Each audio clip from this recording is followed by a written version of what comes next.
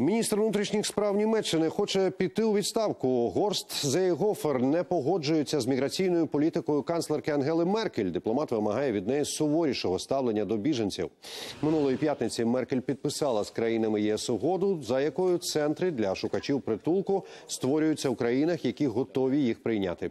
Крім цього, прискорюється депортація з Німеччини мігрантів, зареєстрованих в інших країнах Євросоюзу.